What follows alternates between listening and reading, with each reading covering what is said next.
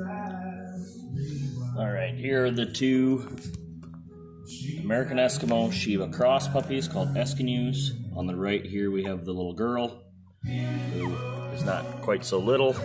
She's chubby, got all of her puppy fat. And then on the left side here is the boy. The main difference between the two, they have very, very similar markings. Uh, both black with white on the chest and white feet.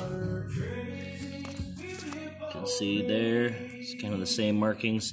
Um, the girl has the little bit of brown on her legs that the boy does not have. He goes straight from the white to the black.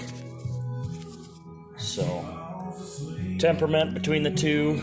Um, the boy is very mellow, relaxed, doesn't move much, whereas the girl is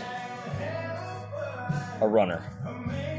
Uh, not crazy, she's quite mental yet compared to many dogs, but she does get up and move, as you can see, quite a bit more. She's very, very friendly, looks for attention. So, um, both very, very cool markings. Um, super nice coats.